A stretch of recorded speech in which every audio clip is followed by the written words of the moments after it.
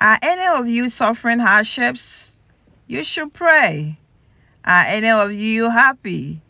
You should sing praises. Are any of you sick? You should call for the elders of the church to come and pray over you, anointing you with oil in the name of the Lord. Such prayer offered in faith will heal the sick, and the Lord will make you well. And if you have committed any sins, you will be forgiven. Confess your sins to each other and pray for each other so that you may be healed. The earnest prayer of a righteous person has great power and produces wonderful results.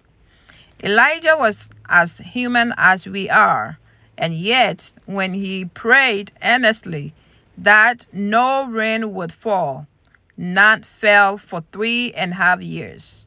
Then, when he prayed again, the sky sent down rain and the earth began to yield its crops.